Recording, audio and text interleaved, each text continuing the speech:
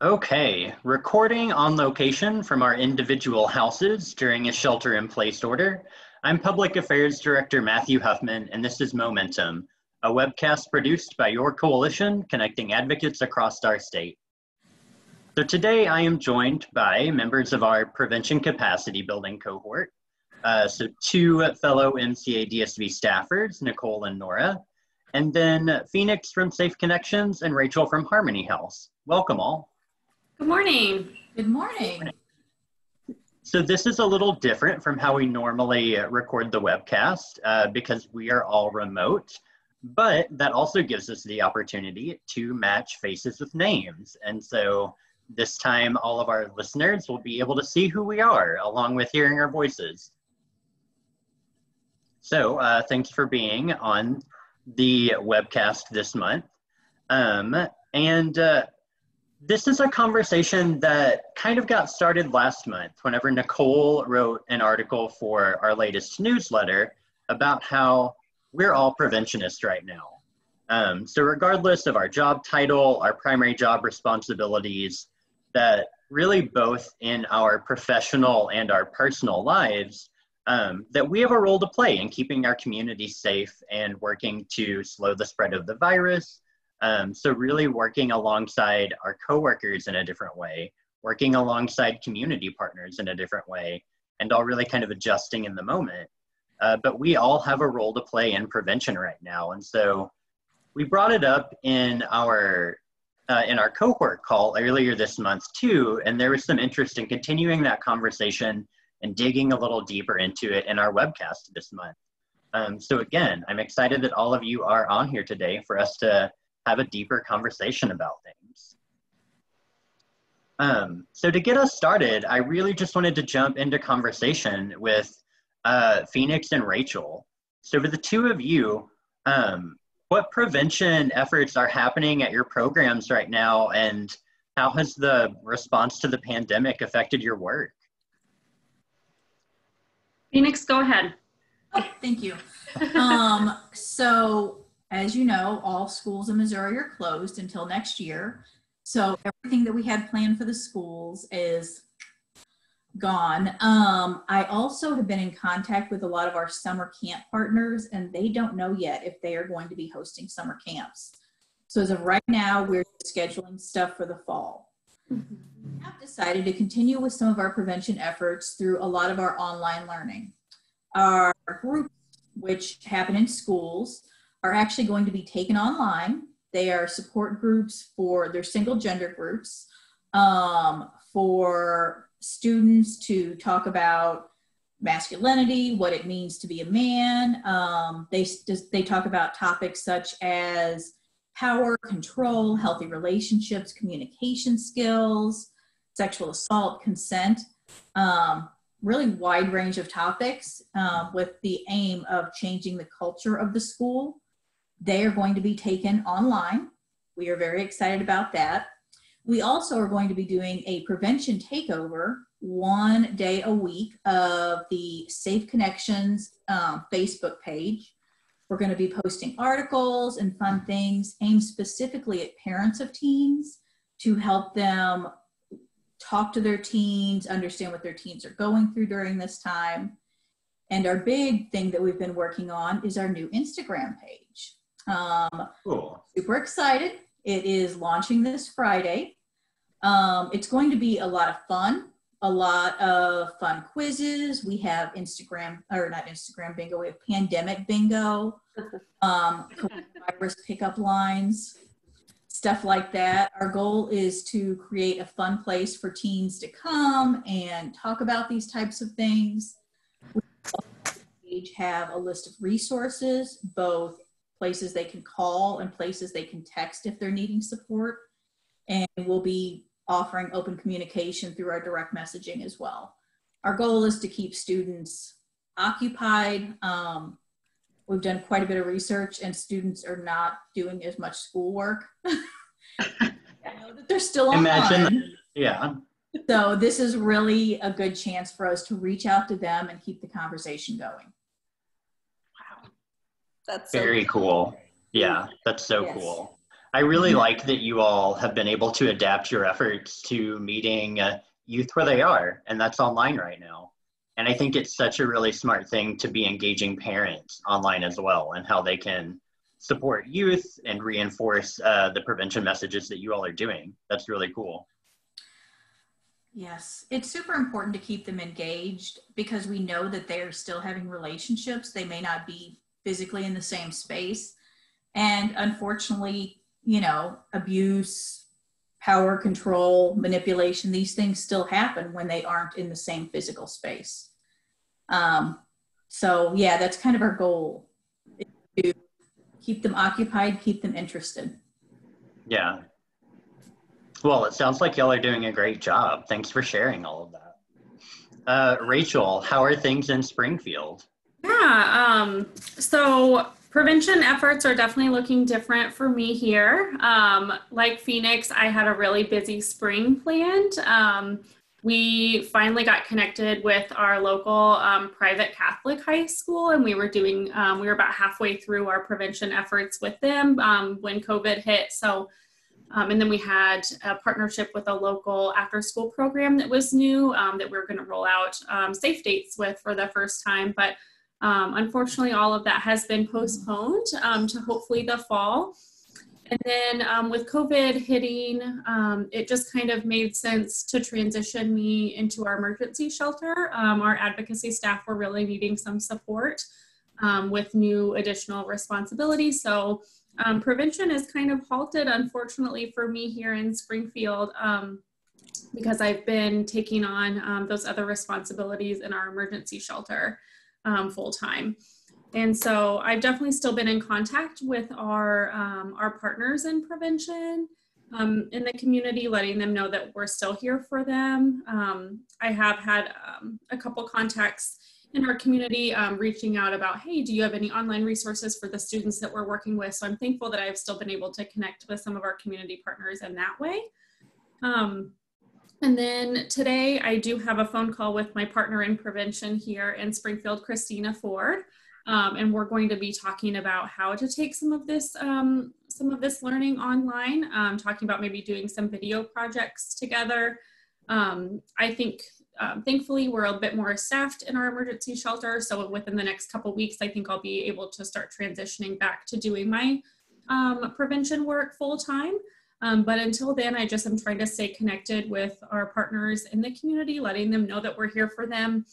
Um, I'm also doing a little bit of research on Google Classroom to try to figure out how to um, transition some of our learning um, and our prevention work to that, just to provide that option for folks.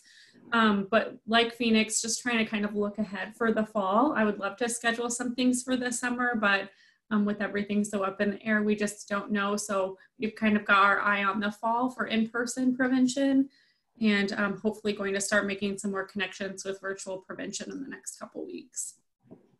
Yeah, thank you for sharing that. I think that um, I think that something folks have all been kind of adjusting to in the pandemic response is uh, making sure that we continue to really reach out to those community partners and not letting those relationships take a back burner. So even if our day-to-day responsibilities have changed a bit, just being able to maintain those relationships for the work, I think are really important. Yes. Um, and folks are figuring out really quickly how to adapt their community efforts and still keep those partnerships available. So I appreciate you kind of sharing how you've worked through that, Rachel. Yeah, absolutely. Um, something that I'm not doing so much, but our agency is doing that I'm kind of excited about, and I think I think we can spend most things in like to look like they're prevention in some way. Um, but um, our agency has recently reached out to all the pharmacies in our um, in our community because as we know, this has really changed things for victims. Um, COVID response has really changed things, and shelter in place has really changed things for victims and put a lot more barriers to victims um, getting assistance. And so we've reached out to all of our um, pharmacies in the area and surrounding communities and gave them kind of like a code word, um, the pharmacist a code word to use. Um, so if victims use this code word, um, which is mask 19, um, to the pharmacist, they know that they need assistance and they'll call us or, or emergency response right away. so we're really thankful that even though it's not directly prevention. I think that we're um, doing a lot of safety planning um, in that way with folks in our community. So I'm thankful for that. What a great idea. I'm super thankful for it. Yeah. And I hope that it um, helps connect folks to resources that otherwise, you know, don't have that access at home right now. Yeah, I I'm love just that. thinking. Oh, sorry. Go ahead, Nicole. Well, I was just gonna say because of um, the new community connections that you're building. I mean, I don't know. Maybe you always had awesome relationships with the pharmacists in town, but that's not a connection I've thought of before. no, and I hadn't really either. So that's something that I had thought of as well. That um, you know, after things calm down a bit, maybe that's some education that we can provide um, those pharmacies in the community um, with you know things to look out for, red flags, resources in our community. Um, now that we're building those relationships that we hadn't really had before, so I'm definitely excited for that possibility, especially during this time. Yeah, because who knows what could happen. I think a lot of the prevention, the like exciting ideas that we come up with seem to be in response to sort of a new urgent issue. Like we know that violence is an urgent issue and we're trying to prevent it all the time. But when something like this comes up, um, we start scrambling. And like you said, you had to jump into a different position and you're still working on community connections and everything you do is going to go forward once we finally get through this because we will. And there might be new exciting things like who knows what a collaboration with your local pharmacies could could do. Absolutely. Um, so i'm excited to hear about after this once we get through it of course. No rush. Well, yeah, uh, Rachel, going back to something that you mentioned with uh, just with staffing uh, there at Harmony House and moving you back over to work uh, in some of the direct services and in shelter, I think that that's um, that's also something that many member agencies across the state quickly had to adjust to. Um, so Nicole and Nora, I know that y'all have been on a lot of the regional calls and uh, a lot of the affinity group conversations that have been happening over the last month. Um, so, what else did you hear from advocates across the state? What else are folks dealing with in their communities? Well, um, I think preventionists, uh, advocates, and programs in general are doing very creative and innovative things in order to continue to do their work during these unprecedented and very strange times. Um, as far as prevention, we have heard some really cool ideas of things that people are doing to remain connected with their partners, to remain connected with students um, in schools. Uh, the other day, we were on a call with Rose Brooks, and they um, are actually recording videos of prevention lessons and sending them to teachers to share um, with their students, which is, they said, is a great um, break for the teachers, and they're still getting those prevention lessons to the to the students who need them. So I thought that was really cool.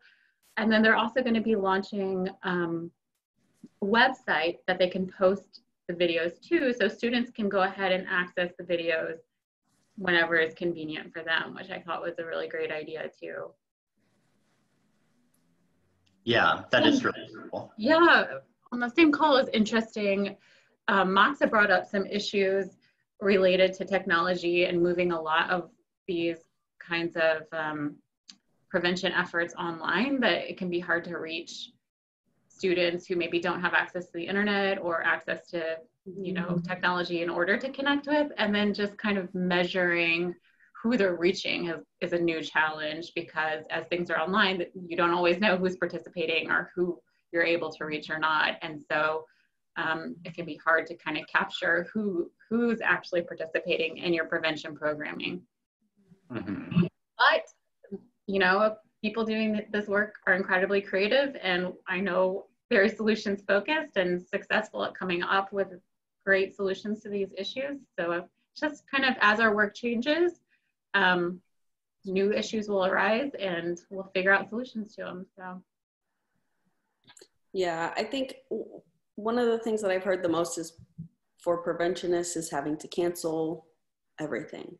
yeah And it's such a heavy feeling because we know that um, people doing prevention advocacy are like fighting for every opportunity to go talk about these issues. and like make an impact. Um, and so it kind of, I can, I notice it looks like the rug has been pulled out from under everybody. Um, and at the same time, we are all great at technology. Now we're fantastic at video conferencing. we're pulling out all the stops with social media, like Phoenix was saying. And so um, that's where most people are going is all right, how do we get even a snippet of what we were going to talk about into social media? Um, and like Rachel was saying, just keeping up those connections. So whoever we're having to, well, we don't have to cancel.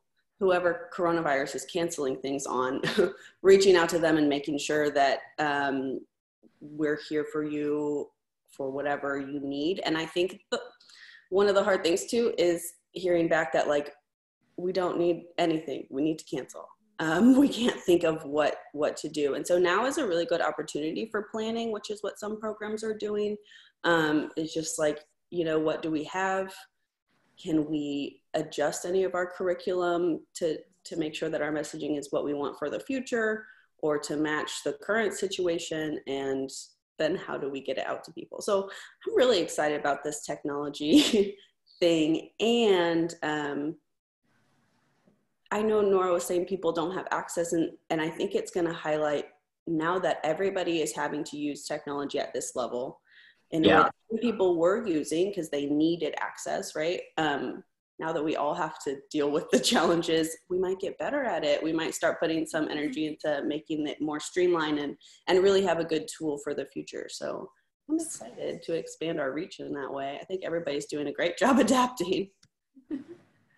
Yeah, at the last prevention cohort meeting, uh, there was this big kind of emphasis on planning for the future and taking it a break and taking a step back and saying, how could we do this differently or how could we do this in a way that's meeting students' needs better? And so it'll be really cool to see what grows out of that and what comes out of that. And I think even though these are really challenging times, there's also some interesting new positive developments that are happening that I think we should all embrace and celebrate, um, even though we're struggling with some of the challenges that we're facing too. Mm-hmm. Yeah, I think that that's a really good point. Is that, that you know initially this was a really difficult thing for everyone to wrap our minds around and think about how we're going to quickly adjust our services and how we adjust working alongside community partners and continuing our prevention efforts. Um, but it's also a really nice silver lining of it allows us to now take this time to do more planning and uh, be really introspective and evaluate what's working well in our prevention efforts. What can we adapt to reach more people? Mm-hmm. um, and so i do think that that's an exciting time for us. Um, and kind of adding on to that i think it's also forced us to be creative in how we adapt our prevention messages to different populations. Um, so yeah rachel like you were saying with reaching out to pharmacies that's a new community partnership with a very different message than maybe we've ever thought of before. So I'm kind of curious, uh, Rachel and Phoenix, for y'all, in your messaging to the community with your other partners, has that had to change or adapt in any way in response to the pandemic? Um, and really specifically, I'm kind of thinking about a question that that I got a lot from reporters which was really trying to ask, you know, well, does domestic violence and sexual violence actually go up right now? Are people going to be getting more calls? And what can people do in response to that if they want to help? So we had to work really hard in kind of laying a foundation to help folks understand that natural disasters don't cause domestic or sexual violence, but we do know that in the event of a natural disaster, including pandemics, that the frequency and severity of intimate partner violence can go up and really talk about some of these underlying issues. Um, but we also really made a point to say, you know, when it comes to prevention, we are already really good at practicing bystander intervention as a safety strategy. And even though we might not be able to directly or indirectly intervene in person, we can still be practicing that strategy now by continuing to reach out to folks, by doing those check ins, by making sure that we are supporting people. Um, and even though we might be having to do that at a distance, we can still be practicing these safety strategies. Um, so I'm kind of curious just to hear from y'all. Have you had to adapt the way that you talk about things with folks?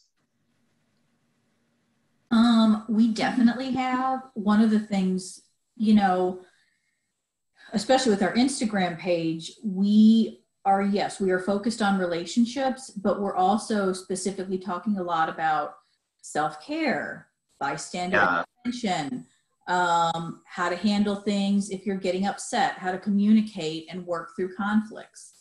Um, because we're seeing that become a huge thing. Um, something else I also forgot to mention, we had some postcards printed up that have some self-care tips as well as some resources if students are feeling unsafe in the home. And we're actually going to be sending those out as well that we have had in groups.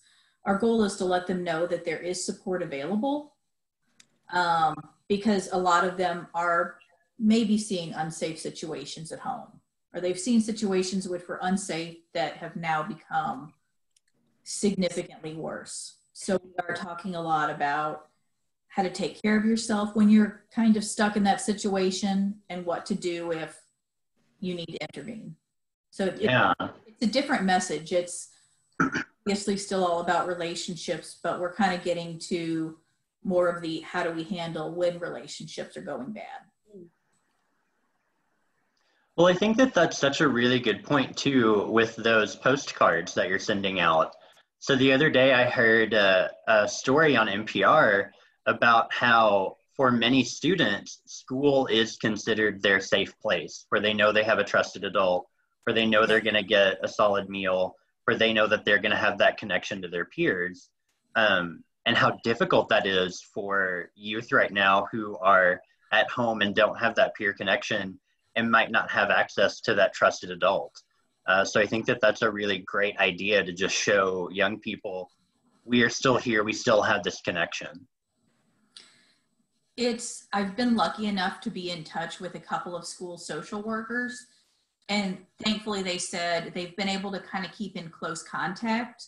Um, one thing that's helping in the St. Louis area, there's a lot of food distribution programs for students. And so whenever they're out distributing food, they're kind of able to check in with students a little bit to make sure that they're doing okay, kind of be that trusted adult if they don't necessarily have one in the home. Yeah, that's fantastic. It is. I also, I will say, I kind of feel like neighborhoods are watching out a little bit more. Um, I know specifically within my neighborhood, it's a one way street. So, and everyone is always out on the street. So people are watching out for the kids. Um, it seems like people are kind of, I don't want to say in each other's business, but they are more aware of what's going on around them, which I Yeah. think is a really good protective factor. Yeah, I agree. It's certainly built up more um, close knit connections and communities. Yes. Yeah. How about for you, Rachel? Yeah, um, I think our um, overwhelming messaging as an agency has just been one of support, like letting folks know that we're still here, um, we're still available. I think, especially on social media, we've been focusing a lot on safety planning and risk reduction um, with folks and letting them know that that's an option that we're here to help them with as well. Um, something I've I've been really um, inspired by is just our community stepping up, and um, because we have heard so many reports about you know DV increasing or the different barriers that victims are facing, um, and to see our community really step up and take notice of that, and to have these conversations, even though they are online, um, I'm seeing a lot more of that, which is um, super. Um, hopeful for me. Um, something that I've seen a lot, um, not so much on the Harmony House page, but on various other social medias that's really warmed my heart. And I'm sure you guys have seen this as well is folks posting like, "Hey, um, if you um, if you message me and tell me that you need makeup, I'll know that you need um, need some support or need me to contact resources for you." And I've seen so many just friends and family posting that and just having that awareness um, that maybe we wouldn't have had before this. Um, and so I'm really thankful for that, that our community is kind of coming together um, with those types of things. But yeah, overwhelmingly, our message has just been of support. Um, and thankfully, um, like I said, as things kind of start to transition back for me, um, we're going to do some more um, support for our youth. but unfortunately, I just haven't been able to have a lot of time or attention to focus on that right now, just with everything changing. Um, but yeah, I've just been really heartened to see our community come together and support survivors during this time. Yeah, that's amazing.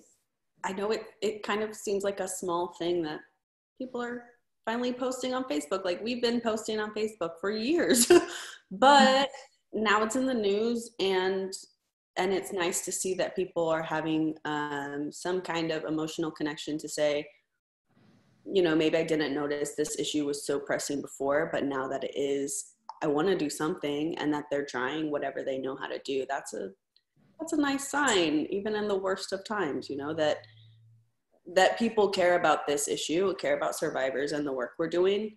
Um wow, something to keep us going as it looks yeah. Yeah, that's such a great point, Nicole. I appreciate you saying that because um, I also saw a lot of those posts going around on my social media, and I do think it's a really encouraging thing that people want to help. Uh, and maybe people who uh, weren't formally connected to a domestic or sexual violence program previously, um, or who were involved in you know formal prevention efforts, they see a need for it, and they're taking it on and trying to help folks in their own social networks uh, and in their own social support systems. Mm-hmm. Yeah, and I'm um, definitely. Oh, I'm sorry. Go ahead. Oh no, go ahead, Rachel. Um, yeah, and it definitely is encouraging, and I hope that we can keep up that momentum with more prevention efforts, and folks yeah. are maybe a little bit more um, in tune to the needs of survivors, and if we can kind of transition that momentum to, hey, prevention is really important um, now that we have everybody's attention because um, like you said it's so important for folks to connect to their own social networks um, and spread these messages and spread that support. So i'm really um, encouraged that once things calm down a little bit that we'll keep up that uh, momentum with prevention efforts i was thinking as y'all were talking about kind of new messages that you're putting out um, how i think um, within advocacy programs this kind of connection to public health and um, ending domestic and sexual violence has become more and more clear throughout this uh, crisis. Like the foundations of many um, prevention efforts are rooted in public health, primary prevent prevention, you know, um, preventing violence before it happens. And so many efforts that advocacy programs have had to do because of this public health crisis are also preventing you know covid before it happens in in programs or in survivors or in communities. And so these kinds of public health approaches i think are um, just something that everybody is maybe understanding and, and using in their day-to-day life more and um, yeah like maybe harnessing some of that for future prevention efforts um, it, it would be a possibility mm-hmm. Yeah. Uh, Nora, I couldn't agree more. I was going to say, as uh, I don't know if everyone watching and listening knows, but Matthew and Nora are public health. Um, I don't know. Nerds, you can nerds. say it. Okay, nerds. Yeah, they're a little nerdy about public health. And I'm a fan too, but I um, didn't study it. And what I love about the public health approach is that it's just so obvious. It's so straightforward. It's so easy to understand you see a need an issue and um, the public health approach tells us to like figure out what's going on and then decide to do something about it and then make sure that what you're doing is effective and keep doing it so obvious and it's exactly what advocates do all the time. And so um, i love that like we can apply it to sexual violence domestic violence and abuse um, for you know the the span of our lives if we want and that right now when we see this huge urgent issue coming up like coronavirus and how it's changing everything we know like our instinct is to jump on that and go help. Um, and i think the beauty of that simple approach is to say okay we're doing it even when it gets boring to be doing what we're doing, even when it gets boring to be stuck in the house, even when it gets annoying to check temperatures all the time and my hands are dry because I keep washing them. Like, but you're doing prevention. You're mm-hmm. preventing the most urgent issue um, at this moment from expanding and making those other urgent issues that you're fighting against from getting worse. Um, and it might be hard to remember that, but I think there's only four steps. Just like see the problem, do something about the problem, keep doing it. Good job. yeah. Thanks, Nicole. well, yeah, I'm really glad that you brought that up, Nicole, because I also wanted to ask folks. I think we are we're beginning to really think about post pandemic mm-hmm. what are our services going to look like? How are we going to be doing prevention and is that going to look different? So how has the pandemic shaped the way we do our work? Um, and I'm curious to hear from all of you. What do you see on the horizon for our prevention efforts? Aside from everyone uh, beginning to love public health as much as Nora and I do. I'm really optimistic. We have been talking about doing more online stuff for years, and we just have not had the time or capacity. And so this has really given us a chance to start some of these online projects that we've been wanting to do for a while. Our goal is to keep young people engaged even when school is back in session because we know that they do end up doing a lot of their learning online. Um, they do look to websites and social media for answers. And so we really want to keep that up and keep that going so that those messages are out there and being passed around. I, I do suspect we'll be doing stuff online for quite some time. Mm-hmm. Yeah, I agree. I definitely think that this has uh, uh, shown a light on the fact that we can really enhance our online options. Uh, and I agree with you. I'm excited to see where that's going to go.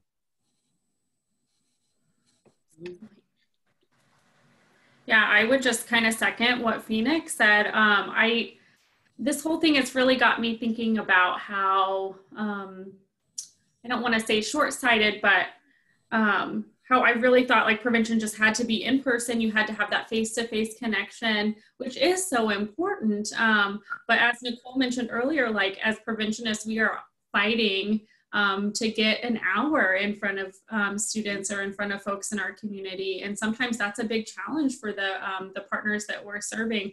So I'm just so excited and optimistic that we're going to have other options um, to offer folks in our community with the virtual learning and um, the, the expanded reach that that's going to have that maybe um, those, those folks or those partners wouldn't have the capacity um, to have us come in for an hour, but they can do some online learning. They can make that fit into their schedule. So I'm really excited um, that hopefully out of all this, we're going to reach more people in, in more creative and innovative ways that I know I would not have thought about before. So um, I'm definitely, like Phoenix said, really optimistic about that.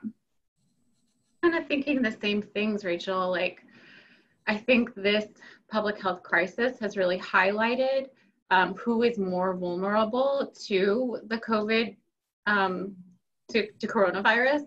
Um, and it has highlighted a lot of issues around health equity um, and disparities in health. And so maybe um, those kinds of just kind of like public outrage over the um, the inequity that exists that would leave some people more vulnerable to uh, the coronavirus or that would leave some people more vulnerable to domestic or sexual violence um, will help us all cast a wider net and make make sure that we're including those people who are vulnerable in our services and our prevention efforts so hopefully this will become maybe a call to be more inclusive and addressing health inequities as well. Yeah, yeah, absolutely. Yeah, I'm interested too in um, everything Laura said. Yeah, like looking at our public health approach, what we're doing, not only like who we're reaching, but um, we know that some people are uh, not getting access to the services that we want them to have. Like no matter how far we put them out, like somehow there's a there's a connection missing, and I think now is a good time where we can see those coming out more, and we can say, you know, maybe we're not going to make every single connection right now in the middle of coronavirus. We're still locked down, you know, stay home, and we can at least start identifying them and say, is there an easy way that I can connect to this group over here? Um, is there a way that we connected with them in the past that we haven't had time? Like that, what Phoenix said about we want to put everything online. Yeah, we've been wanting to put everything online forever. We knew that was a good idea, and there's just no time. So now that this is the most urgent thing on our plates, we can spend the time on it and make those little extra connections that'll keep us going forward I think that's so exciting. And um, one of the other things I'm interested in seeing, and and I'm sorry, I don't want to take over the webcast here, but I'm wondering, since our programs are creating so much online content, if you have seen um, any content, or I'll I'll at least now be on the lookout for um, what messages like the youth and young people are putting out about violence prevention right now or about their community connections or what they're doing um, because i also know like young people learn from the internet and they learn from each other. Whatever they want to say is going to now be a wonderful fact that everybody in the class learns. And so what are they putting out there um, you know how are our messages that we're putting out matching up with what our target audiences are already thinking and saying I will say, so part of our job is to be online. So um, on TikTok, I've been watching. They have some of the most amazing stuff about healthy relationships. Uh, I looked up the healthy relationship hashtag and just was inundated with that were all about healthy relationships. There's a lot of memes about healthy relationships. There's so much of it out there, and it's so great to see them interested in it. Um, one of the big TikTok trends that I saw, it actually started last year, where when folks had gotten abusive or controlling phone messages from their partners, mm. they set that to music and danced to it. Whoa. Like, oh. okay, I'm not listening to this because I'm not yeah. put up with this because I deserve a healthy relationship. Um, there's just all sorts of really great stuff that they're doing. And I love it. I'm here for it. I'm, yeah, I've, I've subscribed yeah. to TikTok. So, yeah, exactly. Let's join the 21st century. Let's follow the kids. They know what's up. They're having fun. And, um, and obviously, like some of us have more years and experience and time reading books and and working on this issue. And so um, we can provide more information but really matching you know like meet people where they're at. And if our target are students we need to figure out where they're at or kids or the parents which yeah love that idea. Mm-hmm. where are they all at right now. And right at this moment we have such a um, mm, not good but such a strong connection to other people because we are all experiencing the coronavirus. We are all experiencing some kind of upheaval in our lives because of the same issue. Um, so we can at least maybe we can connect over that. People need things to laugh at. People need things to look at and read. And um, I think it's awesome that you all are figuring out how to put that stuff out there in a way that people are going to be excited about. Yeah, I love how you all at Safe Connections take these very serious, difficult to discuss topics and kind of make them fun and educational and interesting. Yeah. But you add that element of humor um, that I think is really important. We try. I I kind of laugh about it because I, you know, obviously during the school year we're pretty busy, but now I feel like all of the educators are working even more. We're just working in our pajamas and comfy clothes instead. But yeah, we've been doing so much stuff. It's like we just finally have time to do it all. So we're just going all in. Yeah. Mm-hmm. Right. Yeah, well, I agree 100% with everything that y'all have said. And I think it's such a really important thing for us to consider because part of what I kind of see on the horizon for us is we've had this opportunity to reflect on what new tools do we need to add to our prevention toolbox. Uh, and it's adapting to move more things online, to connect with more people online and con- connect with each other. Um, and also, uh, Nora, to your point, yeah, I've been thinking a lot about how it's forced us to have these really critical conversations on health inequity and social inequities. And so, how are we viewing our work through this lens now of health equity? Um, so, I almost see it as twofold. Like, we look at what youth are doing online and we lift up and amplify those efforts because youth are amazing and do innovative stuff to stay connected to each other. So provide them more opportunity and space for that and recognize in our work where we need to start working on these more structural issues um, to really address these social and health uh, inequalities that that we know already existed, but now we are actually having a moment where we have to begin thinking about them critically and how we apply that to our work. Um, so yeah, I think that there's a lot of really good opportunity for where the work takes us. Mm-hmm. Well, and I just want to go back to where we started with Nicole's idea that we're all preventionists now, because yeah. I do think that um, in moving forward, there is a role that everybody not only in mm-hmm. advocacy programs, but in a community can play in preventing domestic and sexual violence. Yeah, absolutely.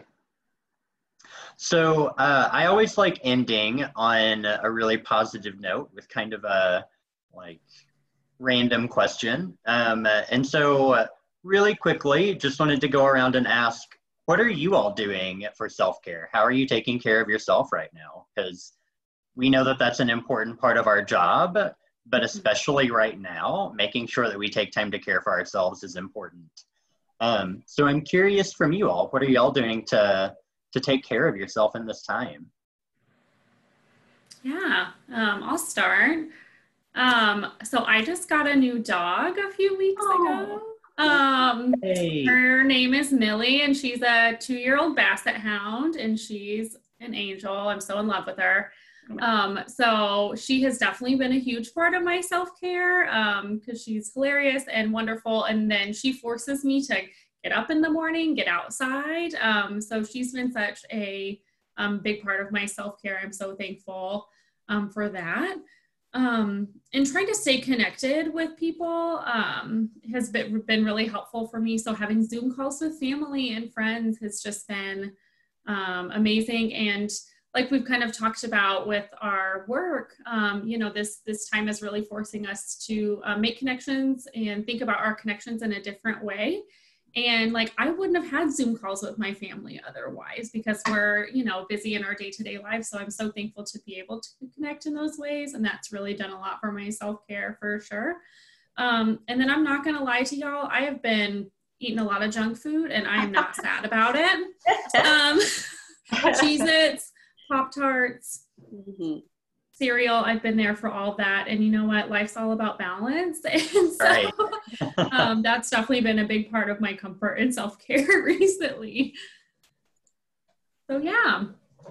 I bought Pop Tarts for the first time in probably 20 years. Same. so good right now. Oh my gosh. It's amazing. Amazing. I've just allowed myself that space that maybe I wouldn't have ordinarily allowed myself um, before, and yeah, it's been fantastic. mm-hmm. Nice. Um, I am lucky enough to live in a house with two porches and a fenced oh. backyard. Nice. Um, the back porch is set up as a writing and reading retreat with oh. company chairs. So I've been spending a lot of time on the porches and yeah, that sounds lovely. Planting stuff. Um, I've also taught my cousins and nieces the joy of Marco Polo. Yes, I love Marco Polo. Yes, it is so cool to be able to get video messages from my nieces and nephew. Um, I don't know if they're as excited about it as I am. About it. So that has kind of kept me happy and comfortable and smiling. love that. Yeah, I really like that. That sounds lovely. Well, I can relate to a lot of things you all brought up. I've eaten so many Cheez Its during this pandemic. It's crazy. They're delicious. Yes. Um, but I have been getting through just by, I think, really um, getting excited about small things and celebrating the little things, like listening to a thunderstorm last night was gorgeous and beautiful. And like every little flower I see come up, I get very excited about. And I planted some herbs, and their little like green faces are starting to show, and I'm very excited about that. So just like the little things, I think, um, Mhm. and Cheez-Its. yes. 100%. I can second that. The food is going great. I've been um, supporting local businesses a lot because I love that, Nicole. Good spin.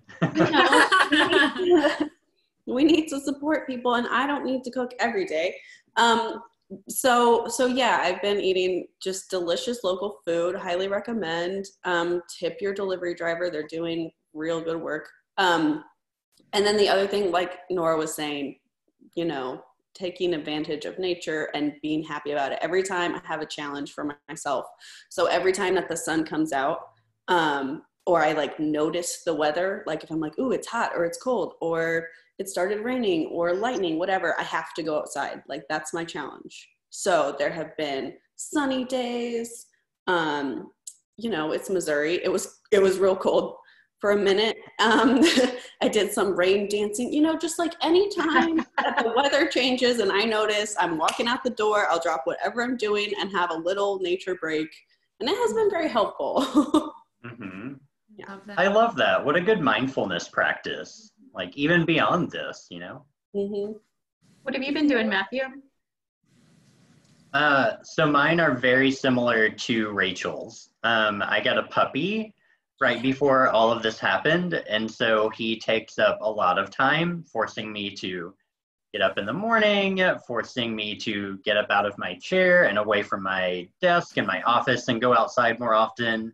Mhm. Um, and uh, so that's been really nice. And because he's a puppy, there's also plenty of comic relief just because he's goofy and lanky and uh, just a spaz at times as well. Um, so that's been really nice. Uh, and then also a lot of baking. Um, I think every weekend, my partner and I have been making another batch of cookies to get us through the week. So it's just been a lot of like baking and bed time. Mhm. I love I that. really love it that both of your puppies have people names, Ben and Millie. Excellent puppies. I'm a big fan of giving pets people names because I think it really helps to like bring out their personality. Mm. I don't know about you, Rachel, but anytime that he's in trouble, uh, it goes from Ben to Benjamin. a serious tone to my voice. Oh yeah, she goes from Millie to Mildred pretty quickly. That's amazing. Ugh, I love that. Well, again, I just want to close out by saying thank you all for taking time to be on the webcast and for really contributing to this conversation and us being able to dig deeper into it.